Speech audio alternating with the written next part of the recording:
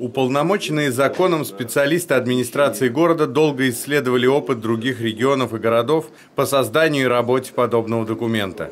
Юристы изучали судебную практику по действию закона, чиновники конкретно его требования по срокам, качеству и примеряли их на ульяновскую действительность. Итоговый документ, по их мнению, учел те конкретные проблемы, над решением которых они бились не один год. Город э, живет по закону он живет не по желанию одного или другого человека, он живет по закону. Поэтому вот здесь вот все вопросы должны решаться в правовом поле. Благодаря документу теперь известно, что прилегающая, например, к киоску территория – это 25 метров во все стороны от его внешних стен. Для индивидуальных жилых домов 10 метров от периметра внешнего ограждения, а со стороны входа до проезжей части дороги. Изменились требования и к коммунальщикам, которые каждое лето раскапывают дороги. Если ширина раскопки превышает 30%, 8 метров, 3 метра ширины дороги, то покрытие восстанавливается на всю ширину дороги. Прошу прощения.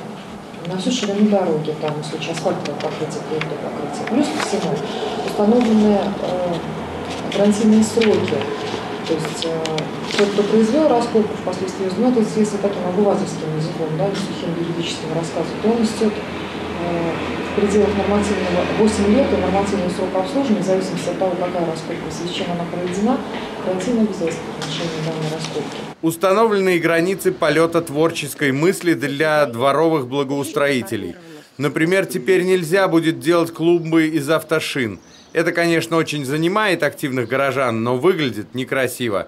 Мы это видим, это ну, реально не украшает город, поэтому постепенно вот все эти вещи мы, мы будем убирать.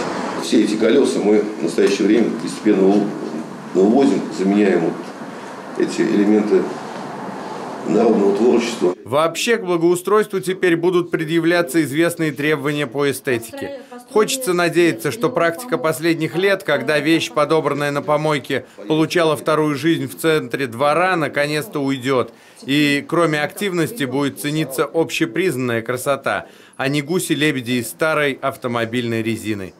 Павел Половов, Александр Кудряшов, репортер 73.